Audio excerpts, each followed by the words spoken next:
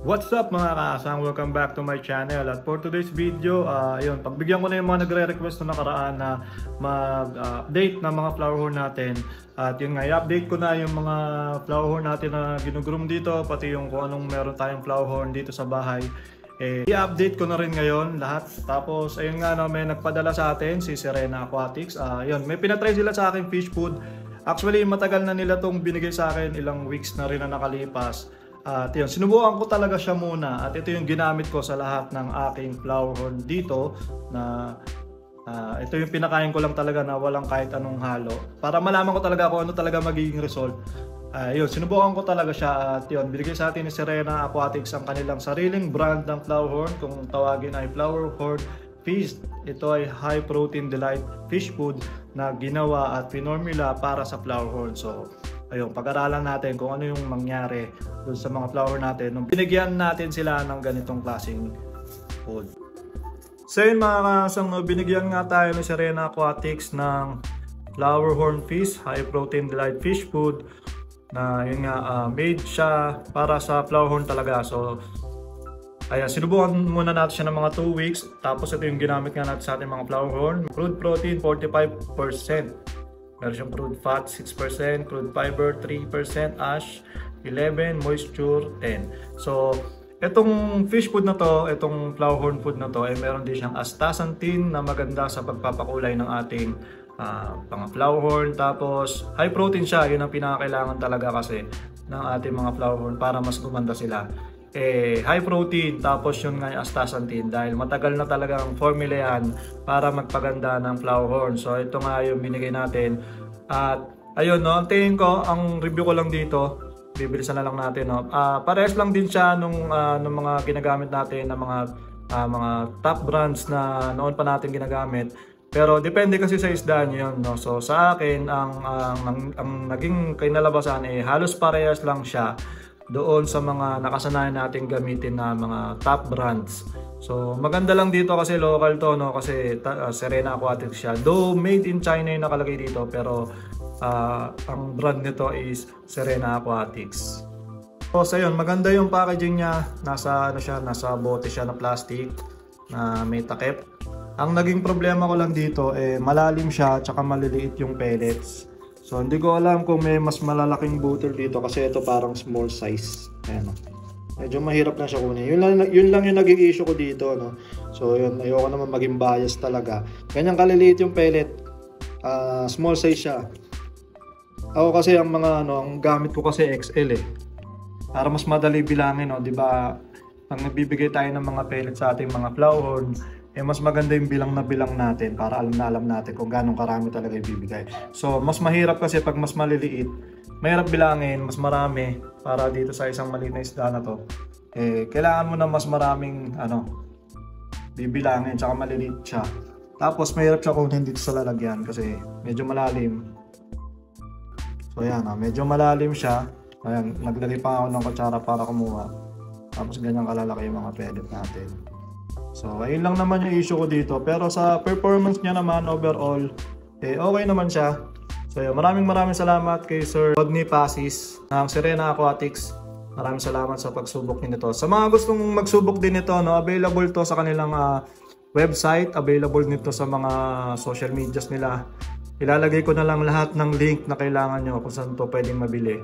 At kung gusto nyo i-try, eh, ayun, ilalagay ko na lang yung link ng, ano, ng mabibilan nyo nito sa video na to sa description, alright? So ayan guys, no, tuloy na tayo sa update. Ito yung ating tatlong Magnus. Uh, talagyan natin ng, ng ilaw isa-isa yan. Uh, mabilis ang update lang tayo. Kalang, i-prepare natin ilaw. So ito yung ating Magnus 27. Ito yung medyo malaking cock natin na Magnus. Yan, ayan na siya ngayon. Yung mga dati nating fry ay actually hindi na talaga fry kasi almost 3 months old na to. At ayun, no. Meron siyang cock. Ito, yung, ito lang yung isa nating na Magnus na meron ko. Na medyo matakaw. Kaya kung makita nyo, medyo lumitan chan niya ngayon dahil ayun, na uh, nagkasakit kasi ako noong nakaraan eh. Kaya hindi ko sila masyado na sikaso. At hindi ko sila masyado napakain. So ayan. Tingin ko malaki pa yung gaganda nito pag natutukan to. At yun, malapit na matapos yung ano namin, yung out challenge namin. Kaya tingin ko hindi naman ako mananalo doon kasi nga hindi talaga 100% yung focus ko dito. Pero okay din, magandang experience na nakasali ako sa ating grow challenge. So ito yung update ko sa aking Magnus 27. Dito naman sa baba, Magnus 26. Ito yung ating Magnus 26, medyo shy type. Yan, ang kapal ng pearl niya, pero parang haba niya. Ito naman yung pinakamatapang sa lahat kasi ito yung nangangagat. So, subukan pa rin natin i-groom yan. Pag nagkaroon ako ng oras, tututukan natin yan ng groom. Yan. Tapos, ito yung ating Magnus 38. Itong Magnus 38 natin, ang hina kumain ngayon nito. Hindi siya kumakain ng pellet, kaya medyo payat siya. Hmm. Binudurog niya na yung pellet, parang may hexa siya. Kaya yung kulay niya ay medyo nawala rin. Tsaka medyo stress din siya.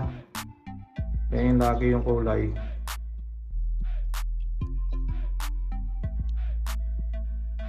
So, yun. balitaan ko na lang kayo guys kung sakaling mapaganda pa natin siya ulit. No? Kasi feeling ko may hexa to eh. Hindi siya kumakain. Yan. So, ayan yung tatlong Magnus natin. Ayan yung update. Ito lang yung pinaka parang sa tingin ko ay okay. Sa ngayon. Pero pwede naman natin yan yan, no? i-groom. Itutukan natin pag may oras tayo ulit. So yun guys, no, ito naman yung update natin do sa ano, do sa flower natin na galing kay Boyobo. Ito yung ano niya, uh, Metal Storm. So nilagay ko siya sa 75 gallons kaya ang laki ng ano niya, ang laki ng lalagyan niya. At medyo 3 inches pa lang ata ito. So ito, ito rin yung pinapakain ko doon yung ano rin no, yung flower horn fish din. Uh, tingin ko okay sa kanya yon mas hiyang siya doon. Tsaka mas malaki talaga ang cock nito. Yung jeans kasi nito medyo cockster talaga. Compared dun sa ating mga ano mga kampa na uh, makuna talaga ang kampa so mas madali talaga i-groom yung mga ganitong klaseng isda. So ayan. Medyo maganda na siya ngayon. At may dating na rin. Ayan, malaki-laki na yung cock niya. Ayan papalakihin ko na lang to guys. Aalagaan ko na lang to dito. Dahil wala naman laman to. 75 gallons ko So, every update natin ng mga flower horn, eh, kasama tong mga to na makikita nyo. Uh, sana soon, no, may breed din natin. Itong ating metal stone. Ito naman mga kasangang ating update sa ating mga beast lab. Kung saan eh, ito talaga eh, hindi ko talaga natutukan at hindi ko talaga naasikaso.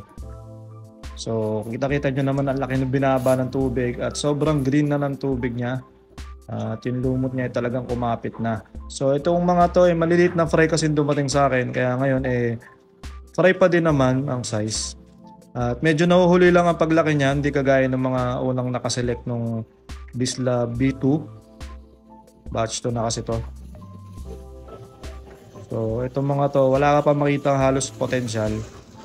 At Ayan nga, nasa green water lang din kasi sila. So pag nagka-oras tayo, no, i-reset ulit natin yan. Tapos tignan natin kung mapapaganda pa natin yan. Pero yun naman, so far naman wala namang nagkakasakit pa dito. Wala pa rin namang namamatay. At kompleto pa rin yung beast lab natin na pitong piraso. Ayan. Sa susunod siguro, yan, no, i-divider ko to sa ano, sa 20 gallons kung magkakaroon tayo ng chance na maglagay ng mga flour fry doon sa 20 gallons, eh doon natin to ilalagay para mas mabilis silang lumaki. Ayan no. Ito pa nga yung ating ano, yung brush natin, mo dumikit na sa kabila sa kabilang side yung ano. Hindi na madala ng magnet. Ganong katigas na yung ano niya. Yung kanyang lumot. So yun, meron din tayong tie silk na beast love dito. Bali tatlo yung tie silk natin. Tinabi ko rin yan. Uh, tignan natin kung ano kung maganda pag lumaki no? Kasi may nakita ako mga beast lab na tie na magaganda rin naman mga cockstop din. O monster cock. Ganun kasi yung jeans nito eh. so ikikip natin yan. Tapos syempre update update ko kayo kung ano man mangyari do sa mga flower and fry na to eh, from time to time. I-update ko yan isasama ko yan.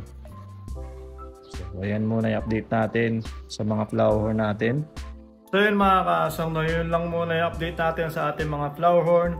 Tapos ayun, sa mga gusto nga umorder nitong ano, flowerhorn fish ng Serena Aquatics, lalagay ko yung link nung kanilang mga shop sa ano sa description ng video na to para maka-order din kayo at masubukan nyo rin. Tapos ayun nga no, nakakwento kanina na nagkaroon nga ako ng sakit na bali nilagnat kasi ako na nakaraan mga nakaraang araw.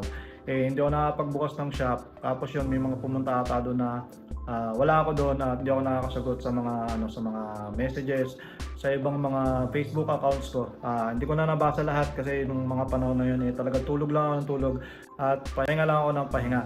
So ang nangyari kasi doon, eh, bumili ako ng bagong tsinelas. Eh, ang paa ko kasi ah, medyo ano siya, medyo sensitive siya sa mga ano ayun yung goma ng mga tsinelas.